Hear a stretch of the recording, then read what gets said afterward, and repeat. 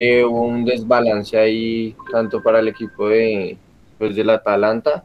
Creo que fue un golpe muy, muy directo, muy duro, ya que pues el Real Madrid no contaba con pues su nómina completa, eh, ya que tuvo que probar eh, nuevos jugadores y pues la titularidad no estaba completa, entonces creo que fue una roja que considero que para mí no era tarjeta roja, creo que fue un error arbitral y pues que para el Real Madrid fue como un eh, sí como un momento de superioridad y pues que motivó al equipo para que pudiera pues ganar.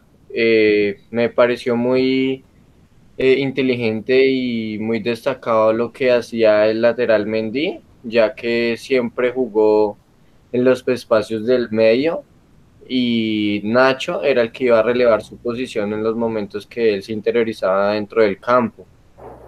Y pues creo que en eso efectuó la jugada del gol, que fue un muy buen gol. Y también un golpe duro fue la baja que tuvo pues Duan Zapata, se lesionó muy temprano después de eh, que hubo la expulsión del jugador del Atalanta y, creo que ya un delantero con tanta potencia eh, a la hora de tener pues un jugador menos, creo que no tuvieron muchas opciones o muchas llegadas al momento de, lograr o concretar una jugada de gol. Perfecto. Muy bien, una, voy a hacer una pregunta y ustedes ahí de pronto el que la tenga clara me responde. Bien, vamos a hacer para que esto sea un poco más puntual. Eh, no sé si Adrián nos está escuchando. O dejo al Dumi. No, profe, sí estoy escuchando, sino que estoy tratando de entrar a otro dispositivo. Ok. Bueno, entonces, ¿qué? Voy a hacer tres preguntas. La primera, ¿Qué jugador expulsan? No el nombre, pues bueno, el nombre obviamente si lo tienen. ¿Qué jugador expulsan? Un medio centro, profe. Medio campista. ¿Quién da más? Kevin. Profe, si no, si no estoy mal, creo que fue un volante, volante exterior. Profe, si no estoy mal, fue un lateral derecho. Bueno, paren ahí. Eh, Zambrano, ¿apuntó?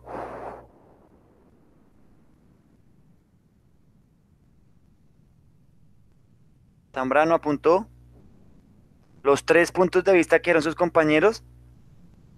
Un lateral, un volante interior y un volante externo. O sea que le expulsaban al Atalanta a tres jugadores. Profe, pues que yo me acuerde, él era centrocampista. Bien, es la primera pregunta. ¿Qué jugador expulsan? Apúntenlo por ahí, por favor.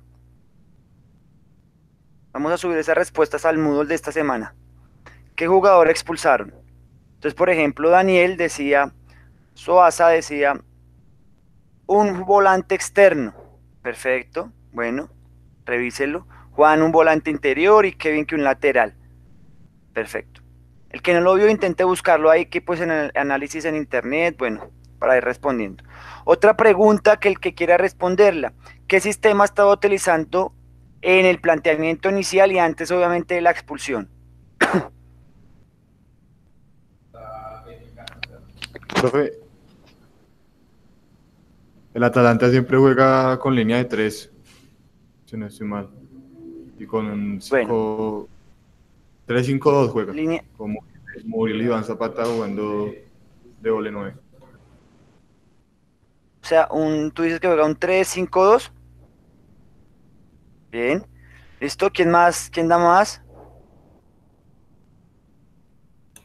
Pues, profe, acá estoy viendo y la formación era 3-4-1-2. ¿Qué juega de enganche? Eh, Vecina. ¿Quién? Vecina. Ok, obviamente es un planteamiento táctico inicial porque todo es cambiante, dinámico, hay diferentes tipos de sistemas en el desarrollo del juego, pero sí hay un esquema inicial como intención previa, ¿listo? Van a responder también esa pregunta. ¿Qué sistema se estaba utilizando antes de la, expulsión, Adrián? ¿Listo? ¿Vamos hasta ahí bien? Sí, eso señor. Me, eso me guía un poco la observación. Bien, Kevin. La tercera. ¿Qué modificación táctica se hizo después de la expulsión? Por ejemplo, eh, voy a nombrar el ejemplo. Mm, Suaza dice que juega un 3-5-2 y si expulsaron un volante interior como él menciona, muy seguramente, se hizo una modificación para intentar mantener la superioridad en el centro del campo con esa segunda línea. ¿Cuál fue la sustitución o cómo quedó? Entonces Adrián podrá decir, profe, o Kevin, profe, la modificación que se realizó fue que se hizo un planteamiento 3-4-2. ¿Listo? Bien. Ahora, para finalizar esta primera introducción, esas respuestas, esas respuestas las quiero a través de una ayuda visual. ¿Listo? No sé si quedó claro. Profe, o sea, subir un video editado, ¿sí? No, un video no, puede ser un pantallazo. Mm, y- Y lo copiamos en Paint, encerramos en circulitos. Los que ya están descargando Logo Motion, pues ahí ya pueden empezar a, a trabajar, e ir mirando sus herramientas. Lo hablamos desde la primera clase, vayan acercándose a ese instrumento que vamos a trabajar muy seguramente en el segundo, parte del segundo y tercer corte. Pero desde ahora quiero que ustedes, cada uno de ustedes, intente ponerse en la tarea de explicarle al otro o de tener ese argumento de Kevin nos va a decir, eh, profe, el sistema que estaba jugando fue este, y lo podamos ver ahí a través de la imagen. ¿Por qué? Porque para nuestros deportistas y todos los sujetos que tengamos al lado, la imagen es muy importante. ¿Se acuerdan lo que decía Pep Guardiola? El video que vimos en la entrevista.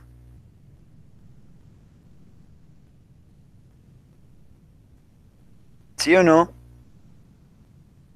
¿No lo vimos? Sí, profe, sí, señor. Sí, que lo visual es muy importante ahora y que va tomando muchísima importancia todo el tema visual. Vamos a intentar ir dándonos y generando esa herramienta nosotros, ir ganando un poco desde ahí. ¿Quedaron claras las preguntas? ¿Qué jugador expulsaron? Pueden ustedes colocar el orden que ustedes quieran en las respuestas. Quizás puedan colocar la segunda pregunta de primeras para tener un orden más claro. Por ejemplo, ¿qué sistema inició jugando el Atalanta? ¿Qué jugador le expulsan? ¿Y cuál fue la modificación táctica que se realizó para intentar sobreponerse a esa situación? ¿Listo? Entonces pónganlo si quieren ese orden, como se los acabo de mencionar. ¿Alguna pregunta de la asignación que tenemos para ir mejorando nuestra observación? No, profe. Listo, Zambrano, muy bien. Ahora, el otro paréntesis. Quiero escuchar para que por favor eh, me lo recuerden porque creo que lo, lo olvidé. ¿Cuál es su proyecto de aula en el cual va a trabajar en este primero, segundo y tercer corte? Teníamos esa tarea pendiente, ¿se acuerdan? Intentar traer el anteproyecto, ver en qué es lo que yo voy a trabajar, eh, para intentar ir sumando todo lo que veamos acá en esta asignatura hacia ese proyecto, e ir consolidando esa información. Entonces los escucho. No sé si alguno ya lo tiene claro. Profe, la verdad yo no. Perfecto, vamos a tomarnos ya estos dos minutos. Recuerden que máximo nos podemos hacer día dos. Parejitas. No podemos pasar más tiempo porque ya llevamos 15 días. Bueno, entonces vamos a definirlo de una vez. Yo estoy acá apuntando y obviamente va a quedar pues el enlace para poderlo ver. ¿Cuál es la intención? Por ejemplo, entonces Juan y Kevin, estoy mencionando solo un ejemplo, dicen, profe, nosotros vamos a trabajar en el proyecto de aula el análisis de la fase de inicio y salida o de inicio para progresar del equipo campeón Diego Valls, del equipo campeón de ale- la- el torneo alemán 2019-2020. Estoy dando un ejemplo. ¿sí?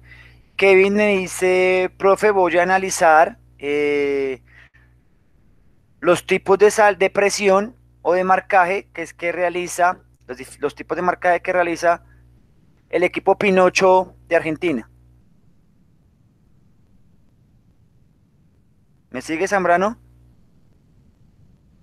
Sí, Bus- profe. busca los videos de ese equipo de fútbol sala argentino y empieza a estudiar los tipos de presión que existen en el fútbol sala o los tipos de marcaje e intenta identificar, obviamente a través de lo visual, cuáles son los utilizados por ese equipo. Estoy dando un ejemplo. Si él quiere fortalecer lo que está haciendo de fútbol sala, que pues obviamente estos, estos conceptos acá también le pueden llegar a servir. No sé si quedó claro el ejemplo. Ya, ya lo habíamos hablado la segunda sesión y la primera, entonces dale muchachos. No le demos más Profe, yo tiempo a tengo una pregunta. Sí, siga. O- O sea que eh, simplemente es como analizar, ¿sí? O sea, analizar algo puntual durante toda la temporada de un equipo, ¿sí?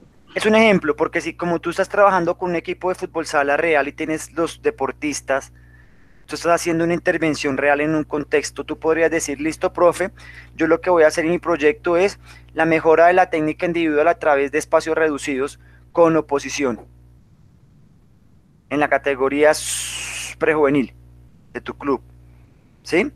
Entonces, ¿qué es lo que tienes que hacer? Obviamente, introducción, justificación, un marco teórico, haces unos test de entrada para saber en qué condiciones estás, aplicas tu protocolo que tú estás diseñando, que vas a diseñar para mejorar esa técnica individual, y luego, cuando ya vayamos a ir finalizando el, el semestre, haces unos test de salida. Y ahí montas tu res- tu res- tus respuestas y tus resultados. Efectivamente, se aumentó un 15% teniendo en cuenta los test de entrada, etcétera. Eso podría ser, por ejemplo. Otro tipo de, es otro tipo de, de investigación, por llamarlo de alguna manera, o proyecto de aula que pueden hacer. Por ejemplo, Diego que acaba de llegar dice, profe, yo voy a hacer una intervención para aumentar la efectividad de mi juego eh, ofensivo. Y monta toda, toda la intervención y sus trabajos con sus evidencias que tiene que ir guardando del trabajo que hace y luego muestra los resultados. ¿Me siguen? No leemos tanta larga, así que vamos decidiendo. Si busquen ahí con quién se van a, hacer y lo van a hacer individual, no hay problema. Profe, yo tenía una pregunta.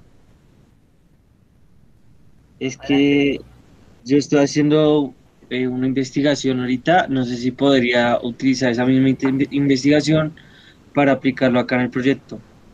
El La cual respuesta es- totalmente sí, Profe, ¿cuál es la aplicación de ejercicios pliométricos para el aumento de velocidad en los jugadores de la categoría sub-15?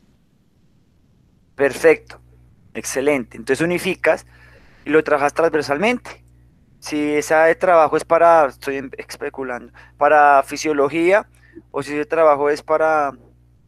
Lo único es que lo unificamos y entregas un solo producto. Te sirve para esta asignatura o para la otra también. Entonces no hay ningún problema. Ah, sí, listo, profe. Perfecto. Pero, eh, o sea, en base a ese trabajo, o sea, se tiene que hacer los tres eh, test de entrada o con solo uno ya, ya está Para, bien? para esta asignatura, no para los tres, los tres test de entrada es para la práctica profesional. Pero si los vas a hacer, pues los utilizas acá también. Si no pasa nada. Si solamente vas a mostrar uno, bueno, uno. Por ejemplo, índice de elasticidad. Escogiste ese porque crees que el, crees que, crees que el índice de elasticidad es un factor determinante para el aumento de la velocidad o la potencia. Sí, en miembros inferiores. Entonces, pues básicamente hace los dos test contra Moving Jump y Scump Jump y sacas la, el- la diferencia entre uno y otro y ahí sacas el índice de elasticidad. Listo, profe, gracias. Listo. Bueno, los escucho muchachos. Por el chat, para que me quede guardadito.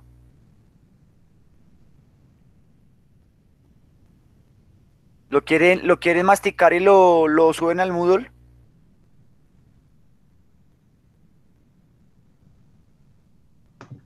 Sí, profe.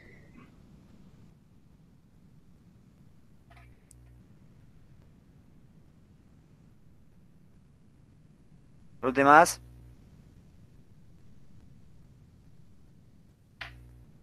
Ok, acá estoy apuntando. Listo, vamos para ir avanzando un poco más entonces. Perfecto. Ténganlo presente, tenemos que subirlo en la presente semana 4 en la que estamos. ¿Ok? Ahí van a quedar como tareas, pero pues saben que es una asignación muy simple. Simplemente subir el título de su proyecto. Y obviamente si se van a hacer por parejitas, pues colocar los integrantes del grupo y lo suben cada uno individual. Así sea pues con su compañero. ¿Hay alguna pregunta frente a eso? Profe, es que acabo de ver la plataforma y en la semana 4 no hay nada habilitado. Sí, no, esa no, no, no la hemos creado aún. Ah, listo, No profe. tenemos acceso ahí, no tenemos ya ningún inconveniente y todos esos eh, quedó solucionado, así que estamos al día con la semana 3. Finalizamos la sesión, descargo el video, lo guardo, lo monto a YouTube, lo subo allá a la plataforma y es genero lo que estoy apuntando acá, que es- serían como las tareas que ustedes van a tener que eh, subir los acuerdos que establezcamos. ¿Listo? Listo, profe. Bueno, entonces yo creo que ya mañana pueden subir su... No, de hecho hoy pueden subir su- sus asignaciones, la que les acabo de mencionar.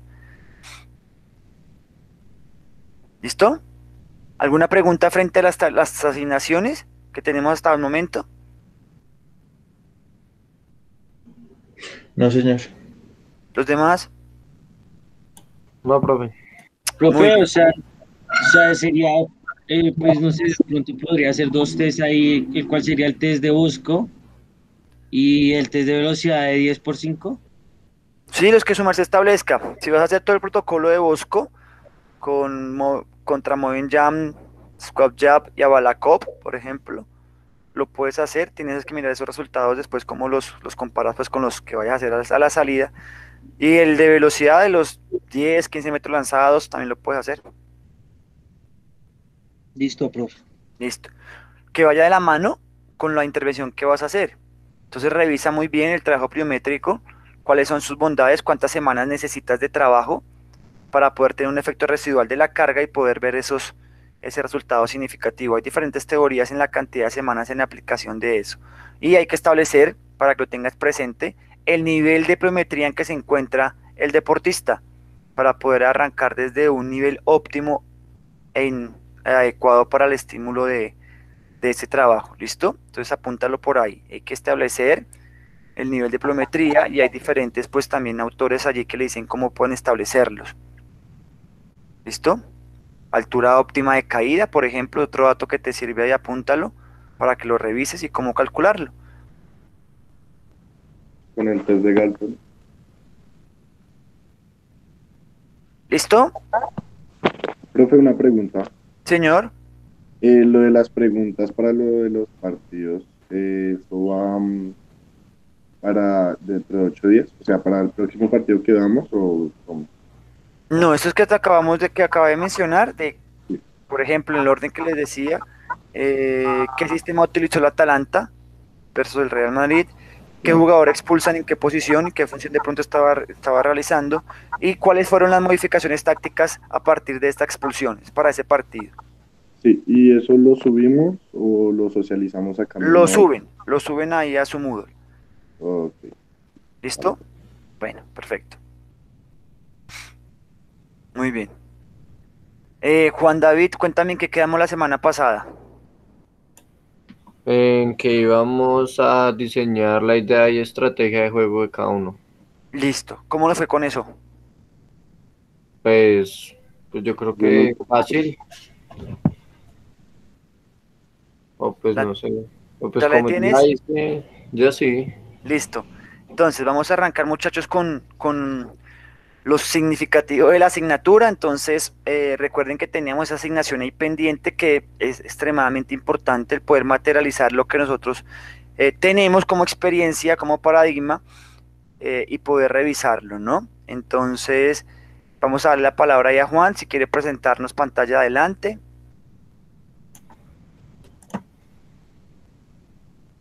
Alisten los demás su, su presentación, su escrito, su construcción. Apaguemos las cámaras para que no tengamos ahí como inconvenientes con el, con el internet, que pueda rodar bien. Bueno, entonces pues mi idea y estrategia de juego, pues como yo la entendí, entonces considero que mi equipo pues principalmente creo que yo tomaría estas dos formaciones, que sería un 4-3-3 Lo ofensivo puedes poner ahí como pantalla grande, ahí como exacto abajo. Listo. acá. Listo. Perfecto, ahí se ve perfecto, se ve súper. Listo, entonces serían el 4-3-3 ofensivo. Ofensivo, ¿por qué? Porque pues me gusta que, me gustaría que, que mi equipo tuviera un mediocampista ofensivo, que sea el que me arme y me distribuya el juego. Y porque me gusta la idea de jugar con, con jugadores que tengan las características de, de extremos. Me gustaría, o sea, mi extremo izquierdo y mi extremo derecho pues tienen que ser pues a pierna cambiada. Mi extremo derecho me gustaría que fuera zurdo. Mi extremo izquierdo pues obviamente que fuera derecho y pues en lo posible pues mi mediocampista ofensivo que fuera un, eh, eh, un zurdo también. Bueno, ahí podemos, em- ahí podemos ir parando y todos los compañeros, espero que estemos acá atentos para poder aportar y poder tomar apuntes de lo que estamos hablando. Esto parece de una manera general, quizás o global, eh, no tan significativo, pero para quien les habla, eh, lo único que quiere es transmitir una experiencia de que si no entendemos el todo, no vamos a entender las partes. Entonces, este es el todo, por ejemplo. Acá el compañero nos está mostrando un sistema, pero revisen el sistema que él, el, el dibujito táctico, que pues eso es modificable y no tiene eh, gran importancia, pero para que ustedes de pronto vayan deteniéndose en los pequeños detalles. La imagen así de pronto aparezca como un 4-3-3. Esta imagen es de un sistema 4-2-1-3 que tiene características extremadamente, yo pienso así, extremadamente diferentes, ¿listo? A un 4-3-3. Voy a dar la palabra acá a todos, excepto al compañero que está ayudándonos a, li- a liderar el proceso. ¿Por qué cambiaría tanto el funcionamiento del juego y la selección de mis jugadores si yo monto ese 4-3-3 o ese 4-2-1-3? O por el contrario, si alguien dice, no, profesor, sería lo mismo, sería igual.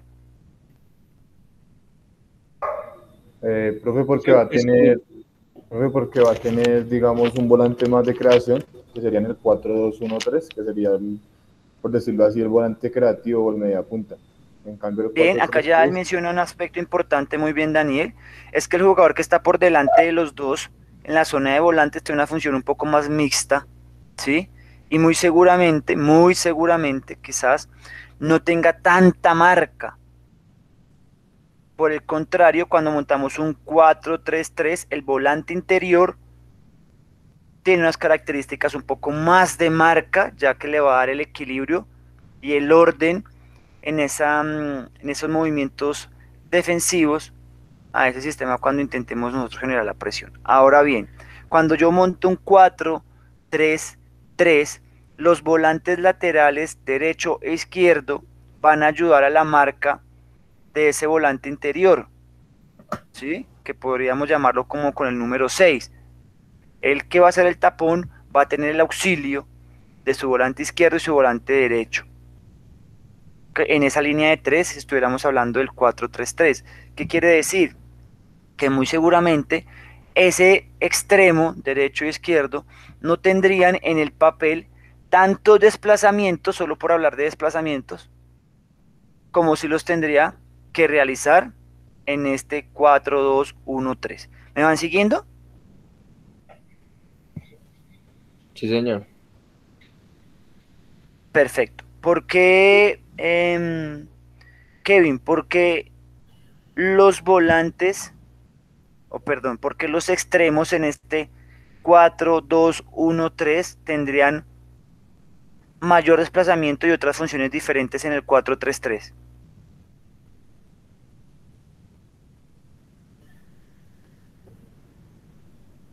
¿Escuchaste, Kevin? Profe, no sé. Revisa la imagen, Kevin, tranquilo. No, esa es una buena respuesta también, ¿no? no tenemos por qué saberlo. ¿Será que puede volver a repetir? Bien. Em, Juan David, Señor. ve seleccionando lo que yo voy cantando. Eh, mucha atención a todos aquí, por favor.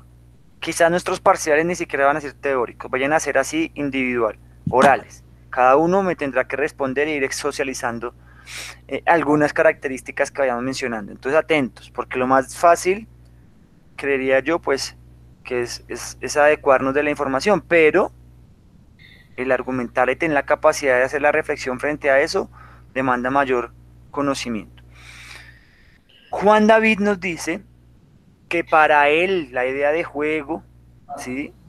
también que puede partir de, de un planteamiento táctico inicial, que es el sistema de juego, le dice que le gustaría jugar con un 4-3-3 o en algunos momentos un 4-4-2. Acá hago un paréntesis.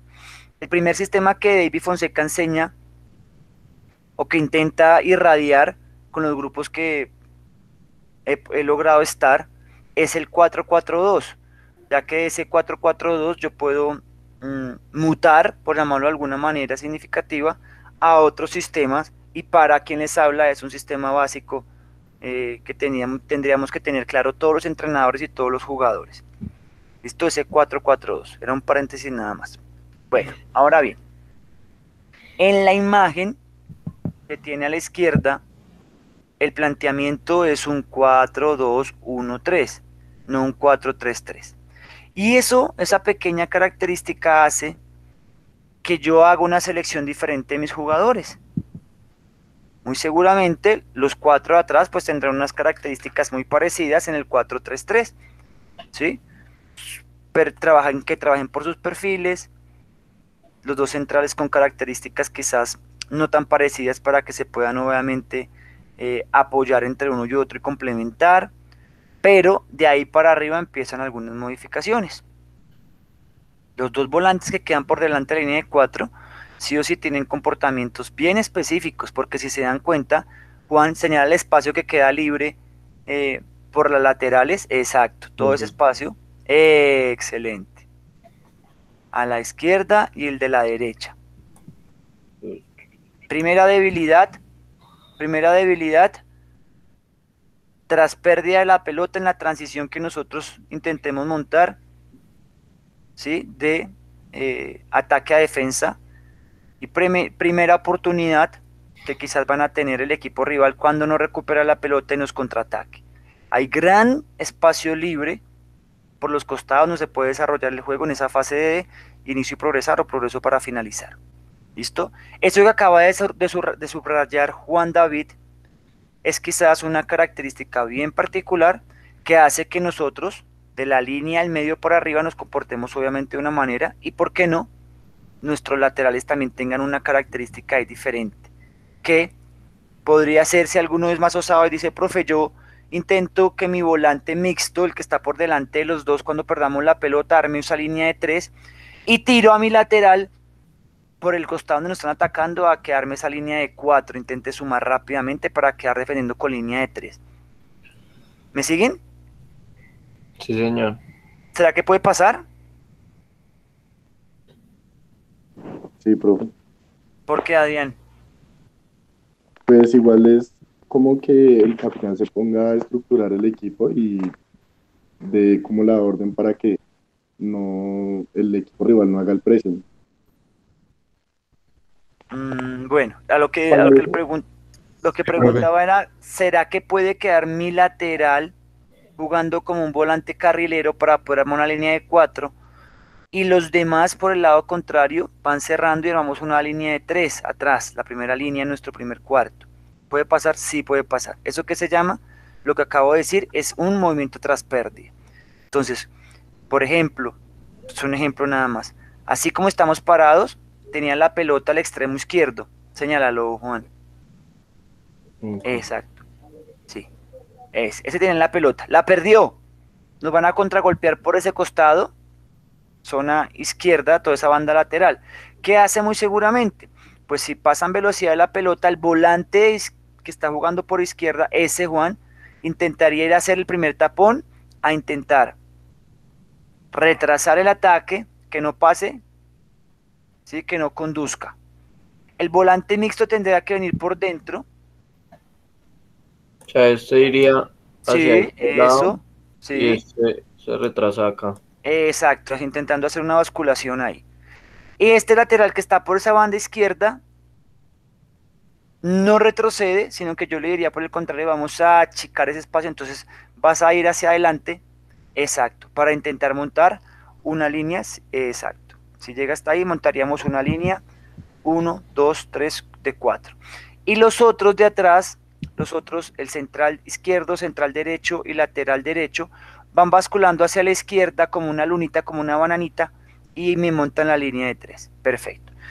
Esos comportamientos, muchachos, que acabamos de hablar así simplemente en una imagen estática, es lo que se llama o es la construcción de nuestro modelo de juego. ¿Cómo quiero que mi equipo se comporte en un momento determinado, en una situación puntual, en una de las fases del juego? ¿Me siguen? Sí, profe. ¿Los demás se fueron? ¿Estamos o no? Sí, señor, sí, señor. profe. Sí, profe. Perfecto. Entonces, cuando yo voy a armar, solamente hablando del dibujo, cuando yo voy a armar mi selección de jugadores, pues yo me fijo muchísimo en la característica de cada jugador para poder armar y de pronto identificar el sistema más efectivo para el grupo.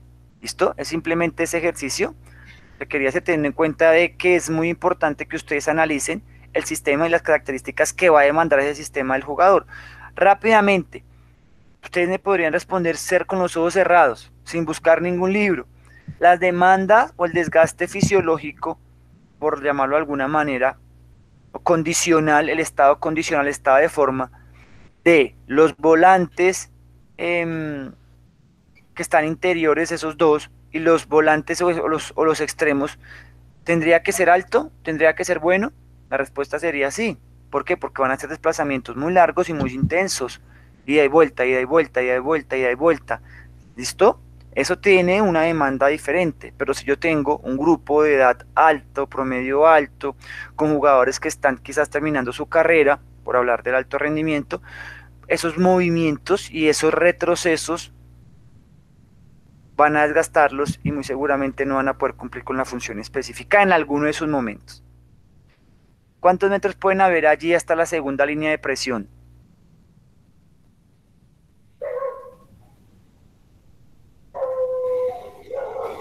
¿Cuántos creen? Eh, Daniel, ¿cuánto mide la cancha lateralmente?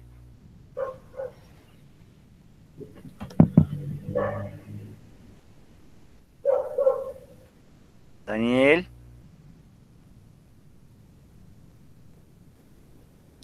Sí, profe, no tengo el dato como tal. El Bien, entonces, tranquilos, no importa. La respuesta, me gusta que sean así. Profe, no lo sé, profe, no lo tengo. Está bien. ¿Ustedes creen, chicos, mm, que es significativo o importante conocer las dimensiones de un campo de fútbol? Sí, claro. Bien. Sí, profe. Yo como entrenador no sé cuánto mide el, el- el- espacio, por ejemplo, de fútbol sala, por hablar de, de Zambrano que respondió ahí al final. Pues, ¿cómo 40-20. hago? Sí, ¿cómo voy a hacer para cuantificar los esfuerzos condicionales o los desplazamientos? Ah, bueno, por GPS ahora todo sale, sí, pero y eso tiene que tener un, un fin táctico. Entonces ahí hay que revisarlo. ¿Será importante conocer el reglamento? Obvio, profe. Muchachos, es importantísimo. ¿Saben por qué? Porque el reglamento dice que son 11 contra 11. O sea que yo tengo que generar y ganar los espacios. Dos, solamente hay un balón, creo. ¿Qué quiere decir eso? Que el que tenga el balón tiene más posibilidades de marcar. Tres, las porterías donde se encuentran. ¿Dónde están los arcos? Pues en la línea final del campo contrario, ¿no? Entonces tengo que mover el equipo para que me genere un espacio para poder meterla allá. El reglamento es por ahí. Eso es. no lo dice David, lo, dijo por ahí Lillo en una entrevista que le hicieron acá en Bogotá, creo, en no sé en dónde.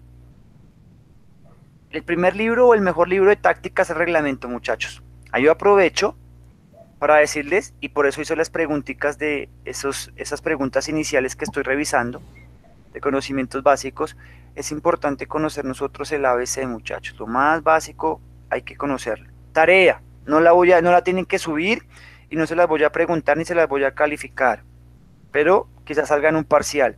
Y no van a poder decir, profe, pero usted nunca mostró eso, no lo vimos. No, eso ya es como un, un mínimo no negociable. Las reglas. Van a estudiarlas, van a leerlas, repasarlas. ¿Cuánto mide la portería? El diámetro de las áreas. ¿Listo? Las reglas son importantes. Y dos, las dimensiones. No los voy a preguntar, no se los voy a, a cuantificar, no se los voy a dar como tarea o nota, pero quizá les salga de pronto en, el parcial de primer corte. ¿Listo? Cuánto mide el área del portero, cuánto mide un arco, las dimensiones laterales o promedios de una portería, etcétera, etcétera. Entonces, para que lo tengan ahí presente. Listo, Juan, ya aclaramos ese espacio, sigue. Que esa imagen que mostraste tiene unas características hacia otro sistema, pero te entendimos la idea. Adelante. Listo. Entonces, pues acá pues la estrategia o pues las características que quiero que tenga mi equipo. Entonces, pues en primera instancia la posición del balón, crear varias opciones de anotación, mantener siempre un, un pivot en el medio del campo, eh, pues relevos de los laterales con los extremos. Pues de pronto sería que si pronto mi carrilero va en un contragolpe o, o ya se muy eh, o sea, ya depende mucho la posición, de pronto que mis extremos releven un poco la posición y cubran ese espacio que dejó pues el lateral. Eh, repliegues y contraataques rápidos, eh, un control total del juego, una compenetración total del equipo y ya pues lo dije, la, la cambio de rol de los laterales. Eh, pues acá quise tomar o tener en cuenta pues el rol de Messi. Creo que para muchos es como un jugador ideal. Y mi volante 10 o mi eh, volante de, creación, pues debe tener o asimilar de pronto un- unas características como este jugador. Y pues en el 4-4-2, pues escogí esta, esta formación. Entonces pues ya les explico un poco pues cómo es la idea de juego. Entonces, pues la posición del balón, el juego por Juan, zona. em, y compañeros, ahí él menciona un aspecto supremamente importante, de todo, pues que obviamente es relevante, pero es muy, muy importante. Él dice que quiere tener o quisiera tener un jugador con unas características parecidas, ¿no? A, a- a un jugador, pues obviamente top. Para ustedes los más jóvenes, pues obviamente quizás pueda ser el, mejor del mundo y el mejor que ha existido. Esas características de jugador es importante que ustedes las vean que pronto las tienen en la cabeza. Pero por ejemplo,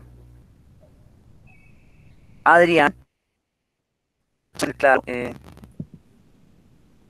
¿qué características debe tener su arquero, por ejemplo? ¿Sí? Que mida 1,85 por lo menos, que sea atajador, que tenga un buen mano a mano, una muy buena técnica básica de arquero, un adecuado juego aéreo, que tenga una buena técnica también con los pies, que sea líder, que tenga libreto claro, o sea que él sepa cuáles son los movimientos, por ejemplo, que debe hacer básicos un central, un lateral, un volante. ¿Por qué? Porque pues el que es de atrás va a gritar o va a orientar el, el- el partido, liderándolo con una perspectiva pues diferente a los jugadores que están en, en el desarrollo del juego. ¿Me siguen? Sí, señor. Listo. Entonces Diego también debe tener claro cuáles son las características de sus centrales, Kevin pues de sus arqueros centrales y laterales.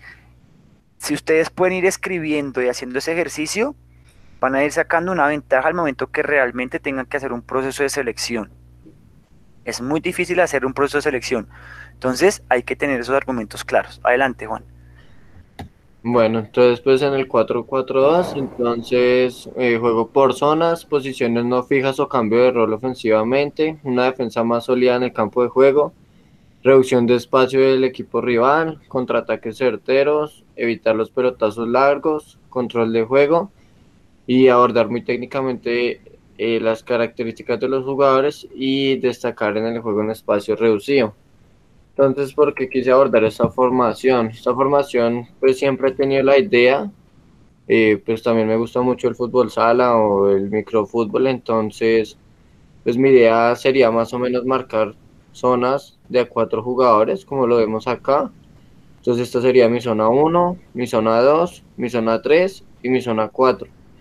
Entonces lo digo en el cambio de rol porque creo, considero que de pronto en esta zona 1 o en cualquier zona pueden hacer rotaciones de los jugadores. Entonces que mi central izquierdo pueda pasar a donde está mi extremo izquierdo.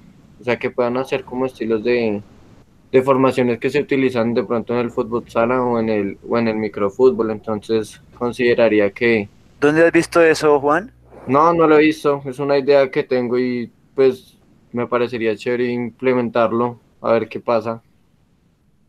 No es algo que tenga concreto, pues, que lo haya visto. Señor, Eh, ¿Has visto ese tipo de estrategia que está diciendo o de comportamiento que está diciendo Juan?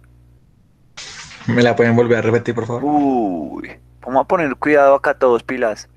Juan, Pues dale, es que como- está, está O sea, buena, está buena. Lo explico mejor, o sea, digamos dentro del fútbol sala no existe ahí, es que yo soy defensa, yo soy delantero, sino mi equipo mantiene en constante rotación.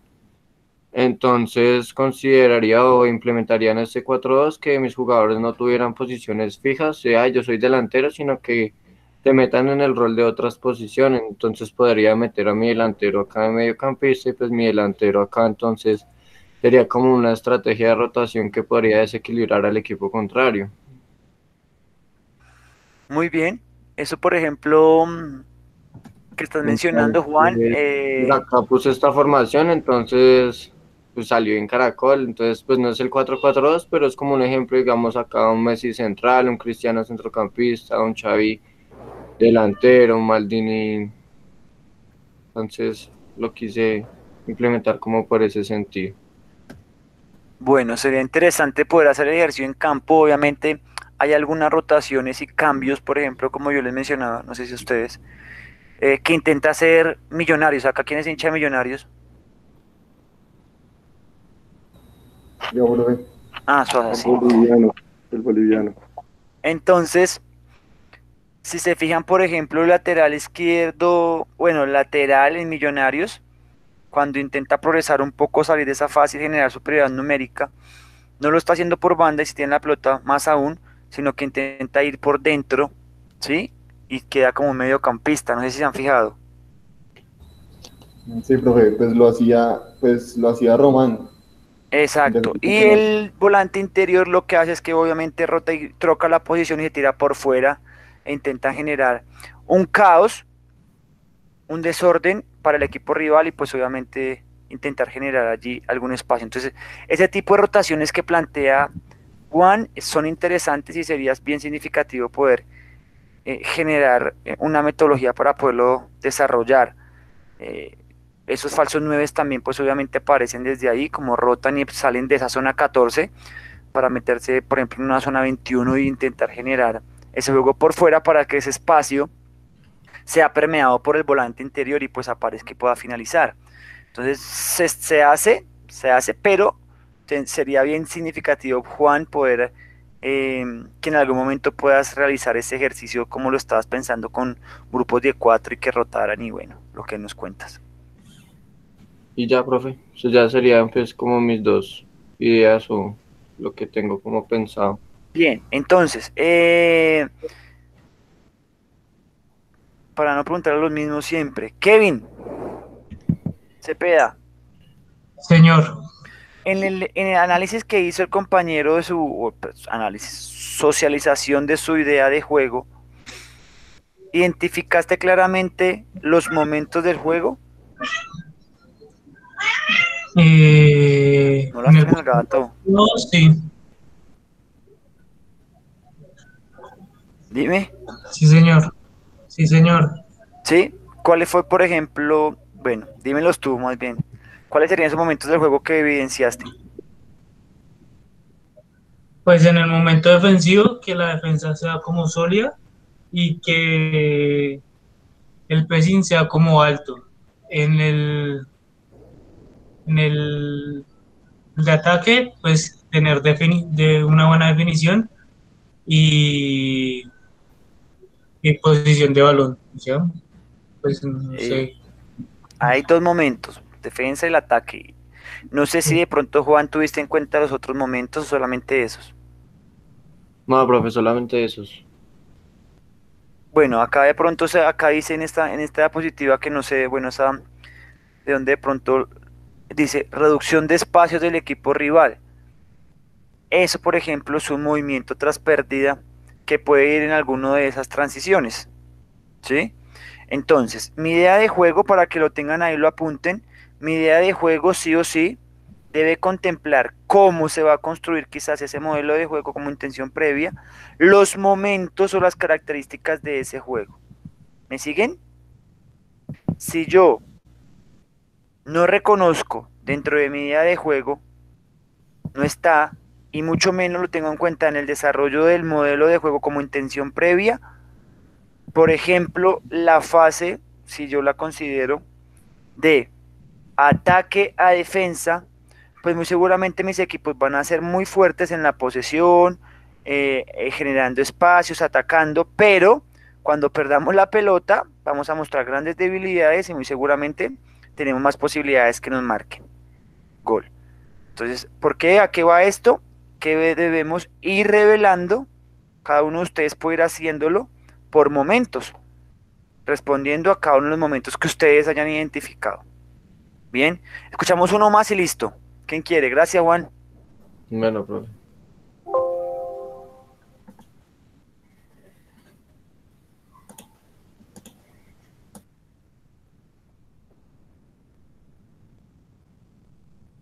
Listo, gracias, Juan.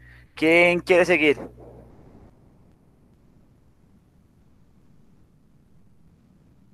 Mientras compañeros se animan, recuerda ir modificando em, ese sistema que utilizaste o la imagen por lo menos para que sea realmente un 433. ¿Sí me escuchaste? Sí, señor. Listo. Eh, Kevin, ¿lo hiciste? Sí, señor. ¿Tienes la presentación o cómo lo vas a socializar? En presentación, profe. Ya Listo, lo- vamos con, vamos con Kevin y finalizamos allí lo de eh, la construcción por lo menos o la materialización de esa idea de juego para que no quedara en el aire de lo que hablamos la sesión en pasada. ¿Listo? Ahora, termina Kevin y eso que acabo de presentar Juan, que va a presentar Kevin, lo que hizo cada uno, lo van a subir hoy mismo al Moodle. Porque pues era ya una tarea pasada. Miren si lo tienen que corregir, tienen que agregarle algo teniendo en cuenta lo que estamos hablando y lo cargan. ¿Listo? Listo, profe, ya pueden ver la pantalla.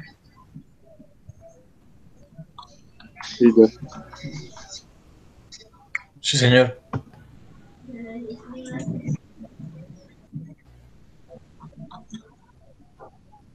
Listo, pues eh, lo hice en, do- en dos aspectos, una en lo del arquero y el otro de, los jugadores. Pues como yo me desempeño tanto en lo del arquero, pues quise ser como la idea de juego de un- que yo quiero que tengan mis arqueros, como ya tengo la categoría de arqueros, esto es lo que quiero que tengan los arqueros, que sean un líder en el campo, Bueno, que paréntesis. siempre se la per- Un paréntesis, Kevin, y eso es un buen aspecto. ¿Tú estás en práctica profesional, Kevin? Sí, señor. ¿Qué nivel? Dos. Bueno, en, ¿y es- ¿estás trabajando? Sí, profe, yo manejo la categoría de arqueros en Marsella. Ah, eso te iba a decir porque en Marsella están pidiendo dos entrenadores de arqueros también. Entonces, igual hay que postularse, ¿no? Sí, yo ya estoy ahí, profe. Perfecto, postulado. Sí. Eh, pues hasta ahora vamos a hacer la postulación, pero yo ya estoy en Marsella. Pero tienes que postularte. Sí, Las postulaciones en práctica profesional. Sí,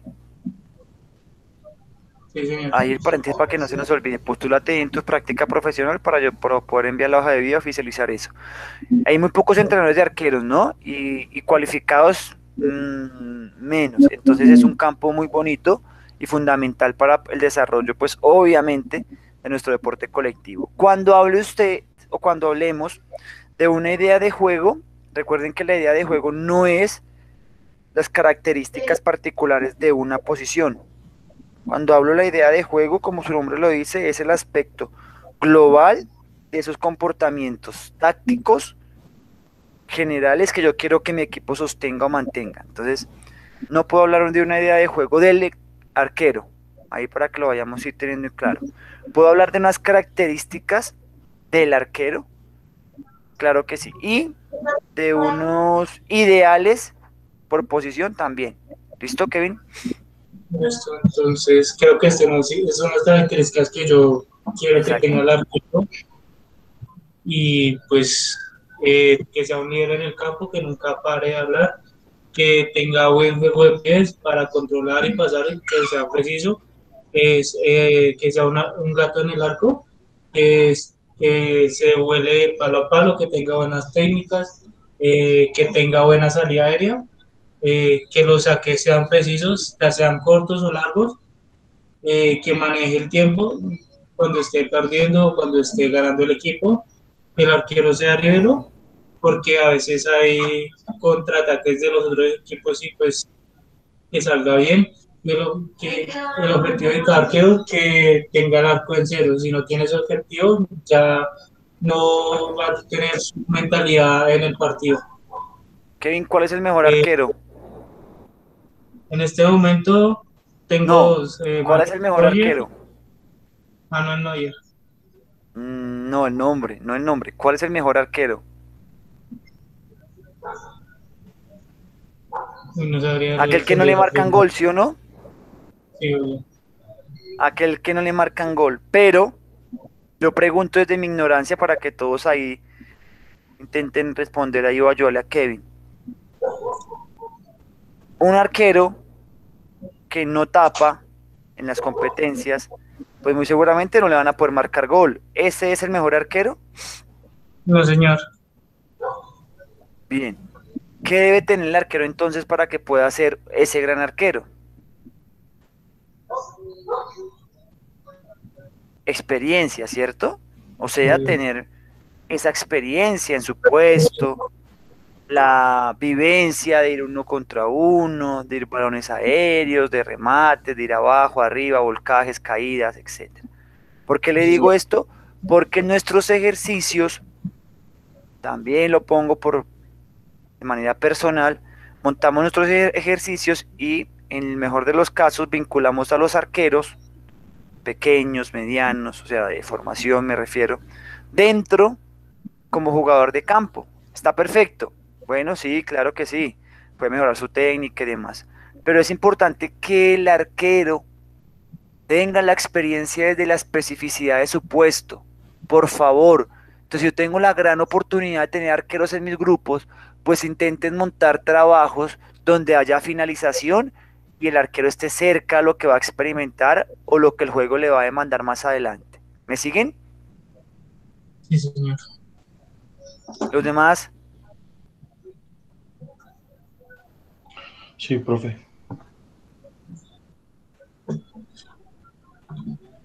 Solo tengo dos en clase. Bueno, sigamos, sigamos que va bien el tema. Sigue, Kevin. Listo, y entonces para los jugadores ya manejaría una formación de 4-4-2, ya que me parece una formación muy completa tanto en lo defensivo como en lo eh, de ataque, ya que pues, a mí me gusta que mi equipo tenga posición de balón, que juegue por las bandas, eh, que los volantes centrales son, sean los que le den el cambio de sector eh, también que tengan un pressing alto, que siempre tengan una recuperación tras pérdida, que no se queden lamentando si perdieron el balón, sino que busquen recuperarlo para seguir fumando eh, la definición, también que sean eficaces en la definición y también que tengan eh, muchos contraataques. Y ya, pues, eso fue. Bien, devuelve la última diapositiva y finalizamos ahí.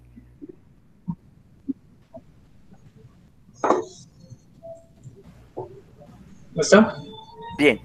Cuando intentemos, aquí como por ejemplo el compañero nos estaba intentando mencionar sus características, no, la siguiente, eso, las características quizás generales de los momentos de juego, ¿sí? Más o menos. Entonces es importante acá lo que le acaba de decir al compañero anterior, e intentemos ordenarlo por esos momentos que hayamos nosotros identificado. ¿Me explico? Y vamos intentando acá ir mencionando cuál es cada uno de ellos, como quiero que se comporten. Por ejemplo, eh, la posesión del balón. Entonces digamos que, listo, de ahí partimos. Eh, hago posesión de balón para jugar por fuera. Listo. Recupero, o sea que la perdió. Acá perdió la pelota. Recupero tras pérdida y que pase en la línea del balón. Mm, ahí debemos ir mirando cómo estamos redactando eso o cómo lo tomamos de la de donde lo tomamos. porque Ahí se presta para, para confusión. ¿Listo? Porque si es un presin alto, bueno, hay que revisarlo. Eficaz en la definición, o sea que ahí ya recuperó e intentó finalizar con contraataques. Listo. Que esto que estamos acá mencionando y que el compañero acá escribió, contenga y contemple todos los momentos del juego que para él son importantes. Cada uno de ustedes debe hacer ese ejercicio. Así que los ejercicios que suban a su Moodle intenten que tenga esa característica. O sea, que lo que yo estoy revelando contenga esos momentos del juego. ¿Quedó claro? Sí, señor. Listo, excelente. Kevin, los demás.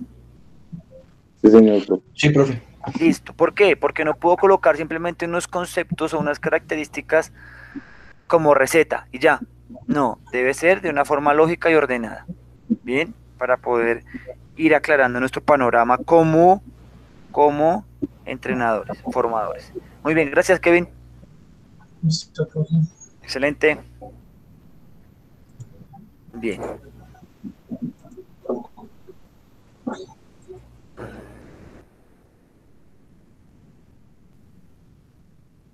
Bueno, ahora presentemos acá.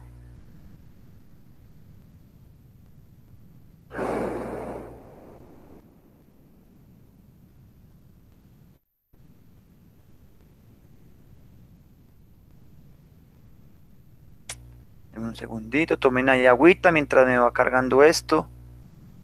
Profe, ya no se puede presentar la de uno.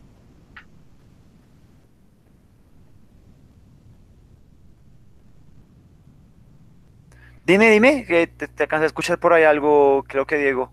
Profe, pues es que yo tenía pues, pensado presentar la mía. Sí, dale, dale, dale, presentémosla y pasemos ahí. tranquilo. Dale, entonces, comparte pantalla mientras.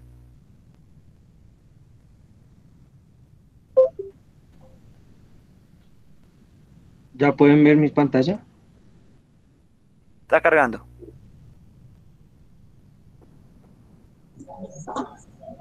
Sí, Diego, ya la podemos ver. Creo que ustedes fueron los que, su grupo fue uno de los que dijo, no sé si fue su grupo, que el fútbol, no me acuerdo muy bien la frase, pero es una frase muy, muy antigua, eh, que es lo más importante, lo menos importante. ¿Si fueron ustedes? Sí, profe. ¿Quién fue? Eh, yo. Bien, esto de la idea de juego es exactamente igual. Lo más importante, lo menos importante. Exactamente igual. Si no tenemos la claridad nosotros, yo lo he dicho y lo repito, mm, el modelo va a ser difícil de construir, porque no tengo un oriente, no sé para dónde voy. Así que los que no se tomaron el trabajo de realizarlo, por favor realícenlo para que no solamente puedan cumplir con la tarea, sino que para que ustedes puedan ir avanzando con paso firme. ¿Listo muchachos? Adelante. Eh, bueno, pues mi idea o mi estrategia de juego pues se basa primero eh, mencionando el posicionamiento. Me parece que estas son dos eh, posicionamientos en el campo muy similares, el cual es el 4-2-3-1 y el 4-3-3. El 4-2-3-1 con pues los cuatro defensas, los dos centrales, los dos laterales, arriba dos volantes 5 eh, y arriba tres volantes, uno en el medio que sería el volante 10, dos abiertos que pueden jugar como extremo y, el 9. Ya en mi 4-3-3 eh, pues jugaría con un 10 que sería el de la mitad y dos abiertos que me podrían ser volante 5 pero que también me, me, generen, me juego por, por las bandas y dos extremos y un delantero. ¿Tú pondrías en el 4, en el 4-3-3 el volante interior un volante 10? Pues es que no, o sea, no sería tan abierto, ese, ese no sería tan abierto porque mm, cuando sería en transición eh, ataque-defensa, los Sí. dos extremos que estuvieran arriba Sí. eh, me bajarían y me generarían un 4-5-1. Ok, uno tiene que replegarse hasta la zona de volantes para armar el, la línea ahí defensiva. Perfecto. Bien, arriesgado, arriesgado a tener ahí en ese 4-3-3 un volante interior 10. Claro, profe, esa es la idea. Eh, bueno, ya para en los momentos del juego, pues lo dividí en cuatro, el cual la primera es una organización ofensiva, entonces pues el, pues la alineación prim- primordial pues sería el 4-2-3-1, en donde los tres volantes de arriba, además el delantero me en juego ya sea directo eh, o generar opciones a través del posicionamiento, posición y posesión del balón. Con el volante 10, los dos volantes laterales abiertos y el delantero arriba. Ya para la transición ataque-defensa, pues debe ser una transición rápida en repliegue y en bloque, donde bajen los jugadores, eh, pues dejando el delantero pues un poco más arriba de la mitad del campo. Pero siempre generando pressing alto para aumentar la probabilidad de fallo en los jugadores del otro equipo. Ya para la organización defensiva, eh, pues siempre sería manteniendo una línea de cuatro con dos centrales y dos laterales. Y arriba dos volantes cinco que tengan la virtud de generar ataque y ayudar de forma defensiva. También generar un repliegue rápido que no genere espacio en el equipo contrario. Eh, también algo que me gustaría es que los dos centrales que sí o sí deben tener en mi equipo, eh, que sean muy experimentados y visualicen bien el campo y, y, y sea la guía de los demás compañeros. Perfecto, ese- esos- delantero. Esta organización defensiva sería pensada para qué sistema? ¿Cómo, profe? Esa organización defensiva que estás, estás mencionando sería o estuvo pensada en qué sistema? En el 4-2-3-1. Ok, perfecto. O sea que uno de esos dos volantes debe tener una característica un poco más mixta y el otro un poco más de marca, ¿no? Sí. Pues ¿Listo? como tal podrían ser los dos, pero pues si, Bueno. si los dos tienen la, la, la virtud de generar ataque y ayudar de forma defensiva sería mucho mejor. Bien. eh, ¿Qué equipo del torneo colombiano juega 4-2-3-1? Santa Fe. ¿Cuál más? Uy, profe, ahí sí no sé, ahí sí no. Los demás compañeros, no más.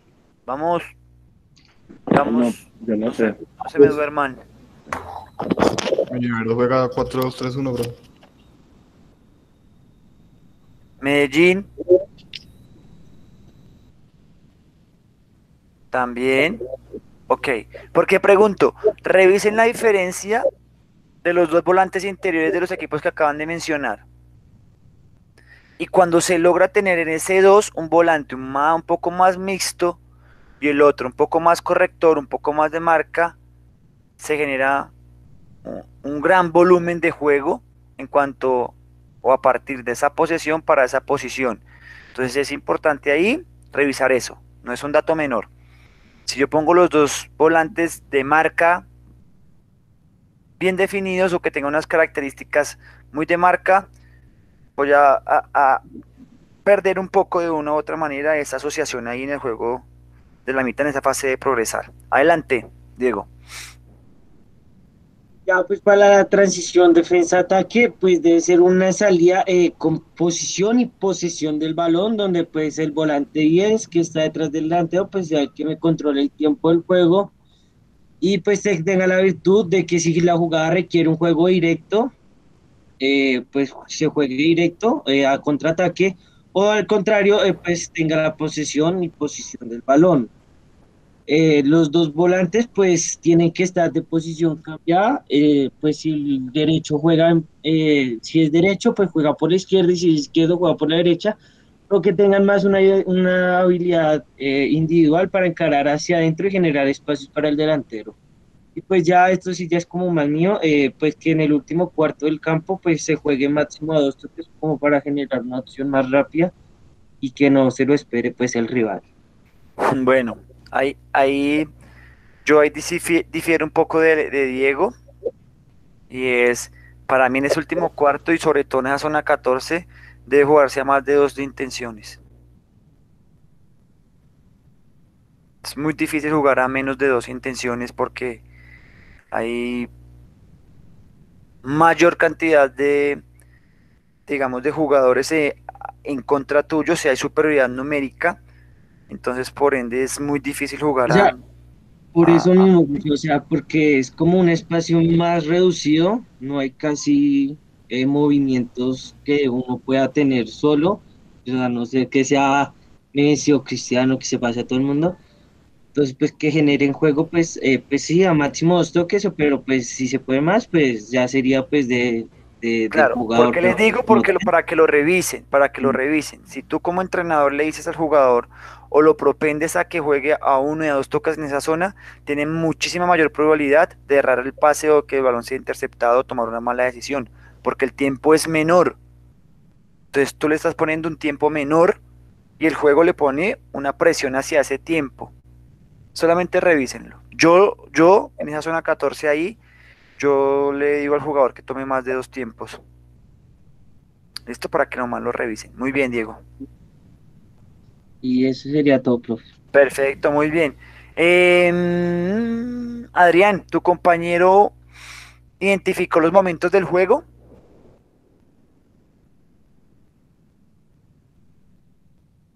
Adrián. Daniel, Profe, sí, sí, sí lo escuché, pero es que estaba acá embolotado un poco. tranquilo, no te preocupes. Tranquilo. Eh, Daniel, Cuando Señor. ¿tu compañero mencionó los momentos del juego? Sí, señor. Fácil y claramente identificables. Sí, sí, señor. Listo, faltaron algunos quizás, o de pronto los que él considera que son importantes.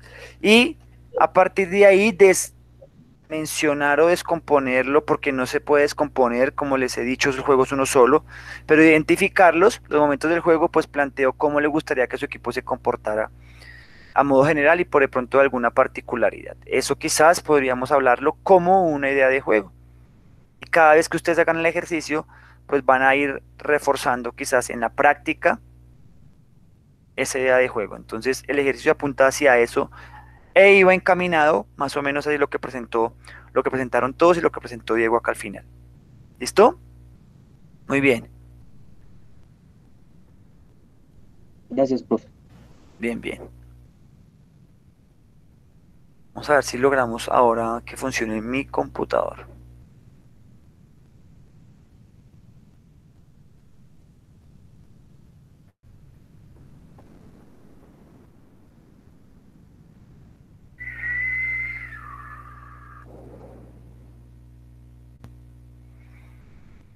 Yo quedo prácticamente... ¿Qué ven muchachos ahora? dice Ninja, Ah, la, la el PowerPoint, ¿sí? señor. Perfecto. Revisen si ya pasa. ¿Está Sí, pasando? Sí. Perfecto. Esto teníamos ese problema en la sesión pasada, ¿no? Que no pasaba, se quedaba y como que no se veía bien. ¿Se ve mejor? Sí, señor. Ahora sí. Bueno, entonces veníamos hablando sobre los modelos de, sobre el modelo de juego como intención previa y hablábamos que es muy importante para, para todos nosotros tener muy claros los principios metodológicos para la enseñanza de, de esos procesos. ¿Cuáles los que ustedes estén, eh, digamos, enfocados en realizar o los que pues obviamente les hayan asignado? Dependiendo, creería yo, el nivel de formación, quizás el, objetivo del mismo pues varía si estoy en un nivel de perfeccionamiento, pues quizás tendría que tener unos objetivos muy marcados. Yo les preguntaba que si ustedes son los entrenadores de la categoría sub-20 de un equipo profesional del sub-20A, ¿cuál sería el objetivo de su temporada? Algunos de ustedes mencionaban algunos ejemplos y yo les decía que quizás un objetivo muy significativo particular sería promover la mayor cantidad de jugadores de ese equipo sub-20 a la plantilla profesional. ¿Me siguen hasta ahí?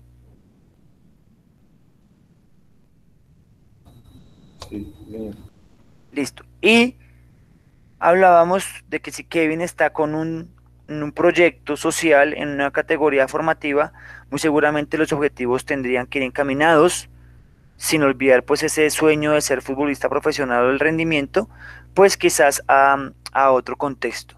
¿Listo? Y para eso, sin importar el objetivo, debo tener muy claro cuáles principios yo voy a utilizar, principios metodológicos, qué pedagogía, metodología o didáctica voy a implementar en esos procesos. ¿Listo? ¿Me siguen?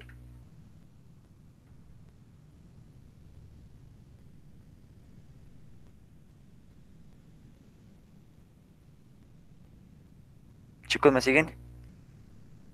Sí, sí, Sí, profe. señor. Listo.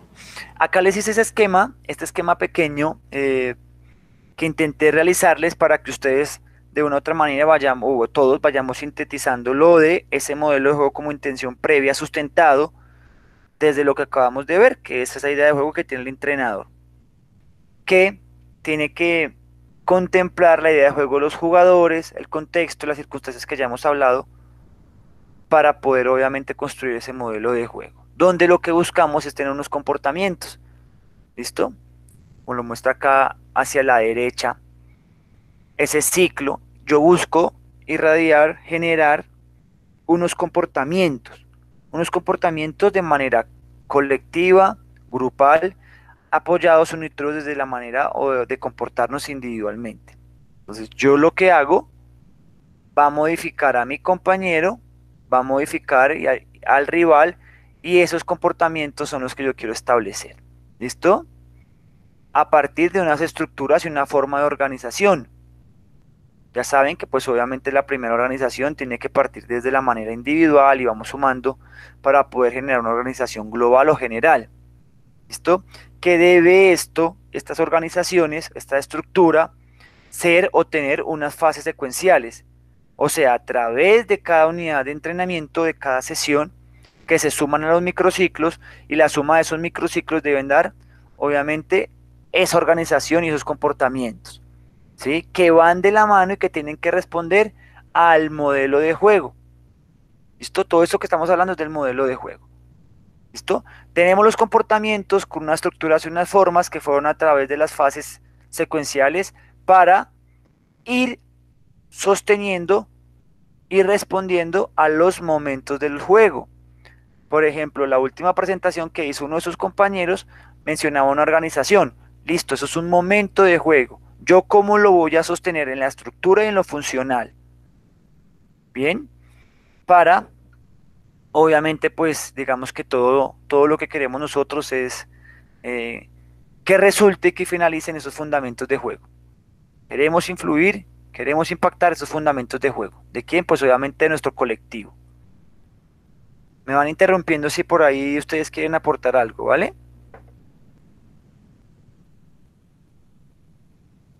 ¿Listo? Vale, profe. Bien, ahora, vean lo que tenemos en pantalla. Empezó lo sabroso. Nosotros ya tenemos una idea de juego.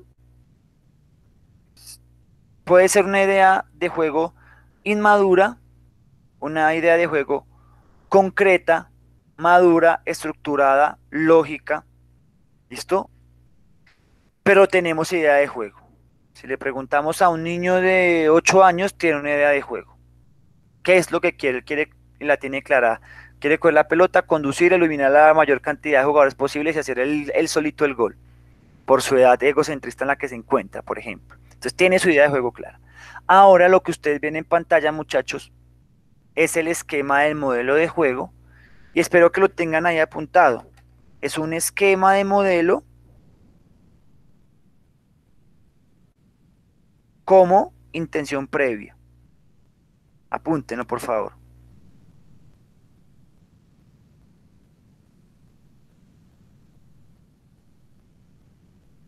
¿Listo? Todo esto que les estoy mostrando, que les estoy, que bueno, que, que hemos venido hablando, es una intención previa que se va modificando, se va alterando, ya que tiene que ser también obviamente flexible y dinámica y cambiante como el mismo juego. Ahora, quien les habla hizo este ejercicio hace mucho tiempo. este ejercicio que les estoy presentando. Y diseñé un modelo de juego para, bueno, un equipo sub-20 de un club profesional eh, que se llevó, esto se hizo real, lo llevó a la práctica. Bien, entonces, yo generé o identifiqué unas fases, ¿listo? De donde empecé o empezaba o quería organizar mi trabajo. Entonces yo identifiqué y establecí que para mí era muy importante, teniendo en cuenta pues el, juego y ese grupo, eh, generar, identificar una fase de inicio para progresión. ¿Listo? Así le llamé, fase de iniciar para progresar. Bien. Y, por llamarlo de alguna manera, jerarquicé cómo quería, cómo quisiera yo que ese equipo iniciara esa fase de inicio, o desarrollara, perdón, valga la redundancia, esa fase de inicio para progresar.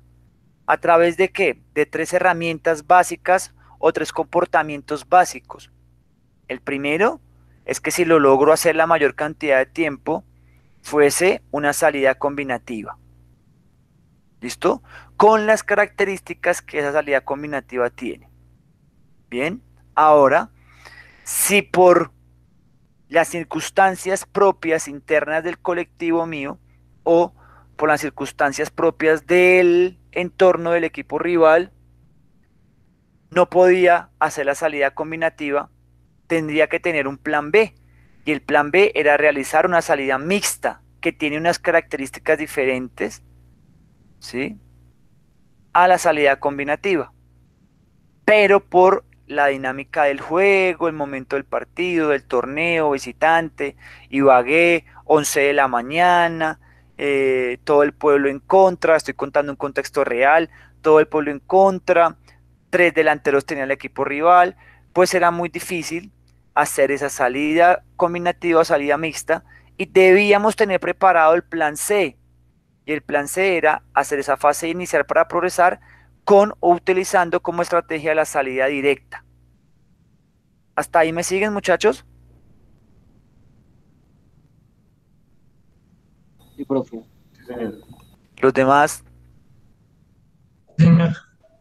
Perfecto. De la misma manera, tengo tres estrategias para progresar y lograr intentar finalizar. Combinativo por fuera, plan A, combinativo por dentro, plan B, directo banda extremos, un plan C.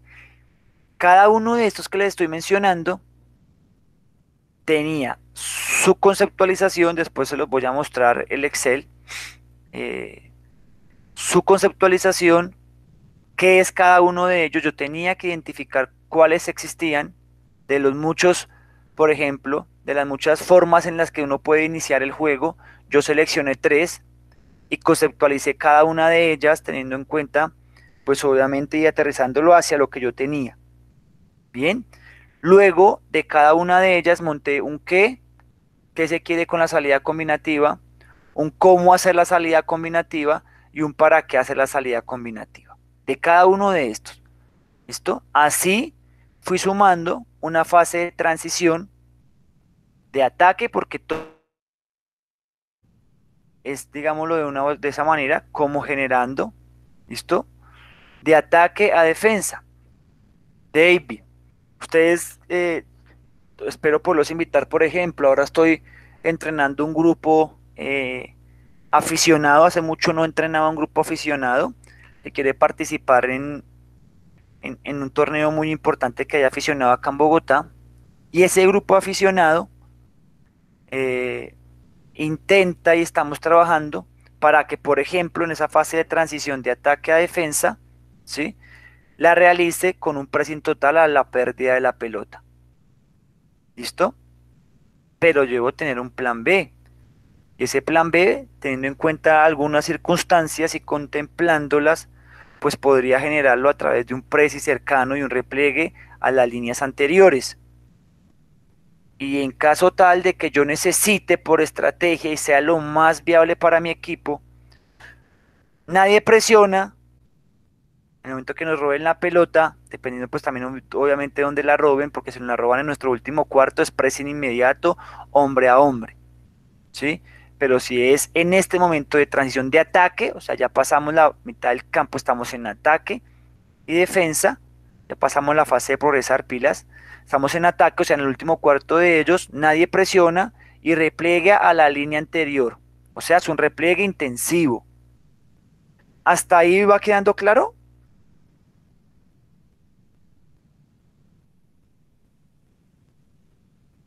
Sí, profe. Sí, señor. Perfecto, los demás.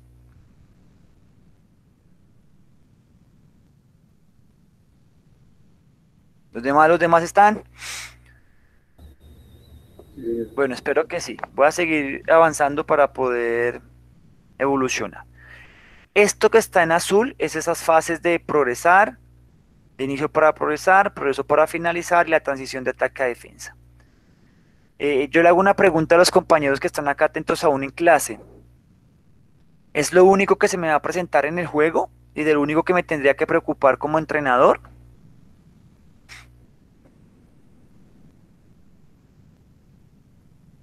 No, profe. ¿Por qué no?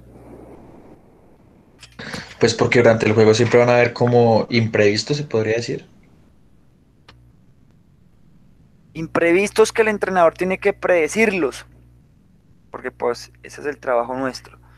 Pero eso que dice el compañero, le voy a tomar ahí la palabra y le voy a comprar y básicamente sería, es que yo no siempre voy a tener la pelota o la fase va a estar siempre para, para mi equipo. Entonces, si yo rematé porque logré finalizar, rematé, o sea, eh, la pelota pasó cerca de la portería contraria y el equipo rival, ¿ahora qué va a hacer? ¿Qué va a hacer el equipo rival?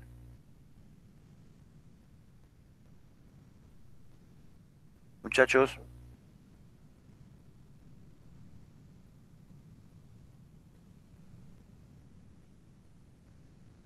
¿Están ahí? Sí, profe, sí. Listo.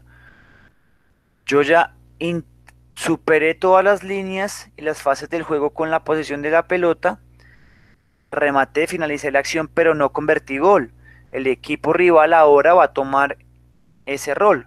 Va a intentar, pues, atacarnos para poder marcar gol. Por ende, debo montar mi estrategia, mi planteamiento táctico, mis comportamientos grupales y colectivos y también obviamente de manera individual para evitar, y ahí entra la otra fase de mi juego en la que yo tengo que trabajar, fase de evitar para inicio y la progresión. Entonces, teniendo en cuenta las características de los jugadores que tenía en ese momento, ¿listo? E intentando, e intentando no hacer un desgaste metabólico significativo para poder tener gasolina, por llamarlo de alguna buena manera, al momento de que tuviésemos nosotros que proponer, pues yo, la primera opción, la A, ¿cierto? Era hacer eh, esa fase de evitar el inicio para progresar de manera replegada. ¿Listo? Estoy dando un ejemplo. O sea, yo me repliego. ¿Listo? Puede ser parcial o intensivo, como ustedes los, los- lo escojan. Pero si yo necesitaba ponerme la marcador arriba, generar presión si era local, si estábamos jugando en Bogotá en la altura, el equipo venía de otro, eh, de otro contexto geográfico y quería marcar en los primeros 15 minutos, pues muy seguramente hacía esa fase presionante, ¿sí? Y montaba la presión en el segundo, tercer, cuarto del campo del equipo rival de ellos. Y montaba la presión, obviamente con algunos comportamientos tácticos, ¿sí? Bien determinados. La fase de evitar y progresar, para finalizar, podría hacerlo total y profundo, porque como ya me superaron la primera línea, tenía que replegarme y hacerlo profundo para montar ese, en mi último cuarto la superioridad numérica. Pero mi plan B podría ser que fuese una acción presionante en el primer y segundo cuarto del campo propio. Ahí montaba mi acción táctica y comportamiento para recuperar la pelota. Y empezaba la transición de esa defensa al ataque. Y yo, por la característica de los jugadores de su buen pie, intentaba hacer esa fase de forma segura. Esto a través de la seguridad, ¿qué quiere decir? Un juego seguro ¿sí? y atrasado, más un ataque moderado. O sea, recuperábamos la pelota, cuando recupero la pelota busco un pase de seguridad retrasado, entonces por ejemplo el volante que recuperó se gira y toca a su central, hace un pase seguro porque el central no tenía presión en ese momento, ¿listo? Y empezamos a hacer un ataque moderado, organizado con buenas combinaciones, pases cortos intentando generar eh, superioridad numérica a medida que vayamos avanzando con la pelota. ¿Listo? Otra opción podría ser descongestionante o a través de la descongestión, juego seguro, pero utilizando los cambios de orientación, o sea, balones diagonales cruzados, el central al lateral contrario, etcétera, etcétera. ¿Listo? O por las características, voy a utilizar allí un contraataque. Recupero, contragolpeo. Dos, tres toques, balones largos, seguros. E intentamos finalizar con la mayor combinación posible. Y efectividad, pues obviamente posible. Más o menos, muchachos, espero que estén ahí muy atentos. Más o menos, este fue el mapa de mi trabajo y el mapa del comportamiento táctico que yo quería generar en el grupo. ¿Sí? Profe, pero es que su equipo solo siempre juega una cosa y si, y si no le sale, pierde. Pues sí, entonces mi modelo de juego como intención previa está inmaduro, está en construcción. Y si ustedes se detienen a revisar cada uno de ellos, pues mm, demanda un buen tiempo en el proceso para poderlo generar. ¿Cuánto, yo les hago una pregunta, cuánto ustedes creen que tardarían en un equipo promedio, de pronto de divisiones menores, para que tengan un nivel más avanzado? en incorporar un solo comportamiento, o sea, el, plan B, el plan A, en una de las fases. ¿Cuánto tardarían?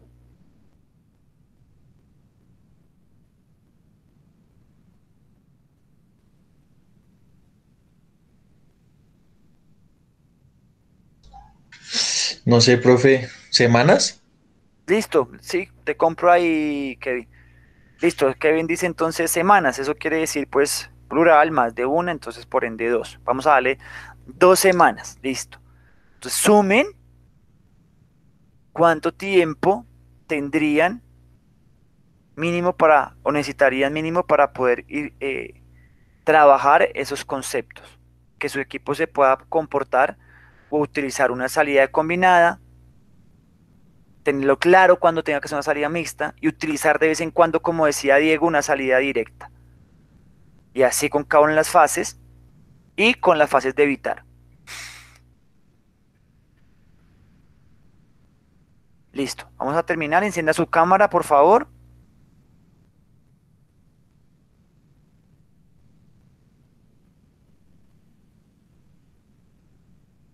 Listo. Te voy a hacer una... Diego, ¿Quedó claro en el esquema, en el esquema, la construcción del modelo de juego? Sí, profe. Excelente. Sí, profe. Kevin, ¿quedó claro? Sí, profe. Listo. Adrián. Sí, profe. ¿Y Juan? Sí, profe, también. Perfecto. Tarea que no van a subir, la van a traer y la tienen que socializar todos, máximo cinco minutos. Acá estoy apuntando cada cosita que hacemos, yo la apunto acá en mi cuaderno. Van a construir el esquema general como se los mostré del modelo de juego. No con cada, si ustedes se dan cuenta en la presentación estaba en azul. Si yo le doy clic, me da un hipervínculo, me tenía que abrir mi Excel y en el Excel está todo el engramaje, lo que vamos a construir este semestre el comportamiento de cada uno de ellos, el qué, el cómo, el para qué, la conceptualización y los ejercicios que nosotros montaríamos para desarrollar esa, esa característica de cada uno. Ese es el trabajo que vamos a hacer este semestre. ¿Sí? Y si lo logramos hacer, van a tener un plus frente a muchos profesionales. Es que ya han construido un modelo de juego. Dime. Eh, o sea que para este semestre vamos a hacer, por decirlo, dos trabajos. Sí, el de aula, que es con, individual o por compañeros, y el que vamos a ir desarrollando, que es el modelo de juego. ¿Listo? Ok. Cuando lleguen a su rendimiento deportivo 2, van a poder hablarle a su profesor de que ya construyeron un modelo de juego como intención previa. Y si alguna vez tienen la posibilidad de llegar a algún, algún club, no van a llegar de cero y van a tener muy clara su idea de juego y un esquema general e inicial de un modelo de juego que les va a guiar. Ah, voy a empezar a trabajar por acá, por acá, por acá. Entonces, ¿yo qué hago? David, ¿qué hace? David trabaja desde las transiciones, es lo que yo hago siempre, desde las transiciones. Y ahí empiezo a vincular los aspectos que acabaron de ver del modelo de juego. Entonces, para dentro de ocho días, van a traer cada uno de manera individual, cinco minutos, como yo lo acabé de socializar, el esquema de su modelo de juego. ¿Listo? Pueden revisar el video para que vean ahí cuál utilicé en internet muchos. Ustedes pueden plantear uno eh, que ustedes quieran. Que es importante, vuelvo y reitero, que contenga los momentos del juego. ¿Listo? Porque ese va a ser su ABC. Si dentro de ese ABC no está contemplado, por lo menos teóricamente, alguna fase, algún momento, adiós, pues vamos a ser débiles en ese aspecto. ¿Listo? Entonces, recuerden que tienen dos horas de trabajo autónomo, aprovechenla, utilícenlo para que ustedes puedan obviamente cumplir. ¿Alguna pregunta? Profe, o sea que, digamos, para la actividad de hoy solamente hay que subir lo que se, se socializó. Bueno, pues solamente se socializaron tres. Pero lo que tenían que socializar para el día Sí. de hoy, exacto, que es el- la, la idea de juego. Ah, listo. Y responder esas tres preguntas que ya hicimos. Ah, profe, eh, pero digamos entonces, digamos, bueno, yo, yo hice tres, bueno, cuatro diapositivas, le anexo una cuarta y ahí las puedo contestar para que quede solamente un trabajo. Ah, bueno, me parece una buena idea. Vamos a dar una sola tarea entonces, sí. Pues Perfecto, como para que quede buena- solamente un trabajo. es una buena idea. Entonces, Diego lo que tiene que hacer es que genere una diapositiva nueva, igual Juan, al final de, la que- de lo que presentaron hoy, y responden las tres preguntas que ya hicimos. Y también queda más fácil pues ponerle las imágenes, ¿no? ¿Listo, muchachos? Listo, profe. Bueno, Profe. Profe, lo sí, que pasa escucho. es que lo que pasa es que estoy acá re- eh, revisando el Moodle y aparece un trabajo que es para mañana a las 12, que dice, en el presente apartado solicitó amablemente consignar la socialización de su paradigma frente al juego o deporte. Claro, fue lo que Eso es presentamos la sesión pasada. Entonces ya lo, ya lo tenemos. ¿Qué es el juego? ¿Se acuerdan? Que cada uno socializó y escribió y construyó qué era para ustedes el fútbol. Pero eso yo lo había subido en la semana 1, profe. Y eso ya está calificado, creo. Pero parece que ya, o sea, ya lo mandamos. Sí, igual, profe, es- eso se para- en la semana 1. Sería para el 8 de marzo subir la idea de juego y Sí. que es el y la que dice Suaza. Sí. Pero ¿Y en pues la ahí semana ya las 3 estamos aparece otra vez eso, subir la idea de juego? Señor. Y en la semana 3 aparece otra vez subir qué es el juego, qué es el deporte, qué es el fútbol. Y la idea de juego. Profe, profe, es que en la semana uno, si no estoy mal, era solamente qué es el fútbol para uno. Sí, O sea, aparte de lo deportivo. Entonces, lo Sí. que uno sociabilizó fue la, la clase antepasada. Eso fue lo que se subió la semana uno. ok. Entonces en la semana 3 lo que vamos a subir para que de pronto no nos confundamos muchachos y gracias a Suasa que está revisando. Entonces, en la semana 3 subamos lo que teníamos para la semana 3 que era la idea de juego. Y en la semana 4, ¿listo? En la semana 4, la que vamos a montar ahora para que no se nos, no se nos complique, vamos a cargar, le vamos a dar un tiempo prudente, vamos a cargar el esquema de ese modelo de juego. ¿Les parece? Profe, entonces en la semana dos. Y la semana dos que subimos. ¿Qué profe. aparece? Idea Es que si no estoy mal, profe, es lo de hoy. O sea, lo de, o sea, lo, que socializamos hoy aparece por Pues se podría entregar, ahí se podría entregar pues las preguntas, ¿no, profe? Bueno, Las entonces deje- déjeme, yo lo reviso y lo ordeno y se los hago saber por el grupo de WhatsApp. Listo, profe. Entonces, para quedamos atentos entonces el día de Sí, hoy. claro que sí. Igual tengan los trabajos ahí, simplemente que usted desea subir. Listo, profe. Eso, profe. Pero entonces sí dejamos solamente un trabajo con, o sea, la socialización del día de juego y las preguntas. Sí, sí, sí, eh, me parece que se queda ahí, queda ahí bien. En el de idea de juego metemos lo de la observación de los partidos, que son esas tres preguntas. ¿Listo? Y en la semana 4 lo que vamos a hacer es que en la semana 4 vamos a vincular, yo ordeno eso, en la semana 4 vamos a vincular el esquema del modelo de juego. Y obviamente le damos a la fecha, pues del día de hoy hasta dentro de 8 días. Listo, profe, muchas gracias.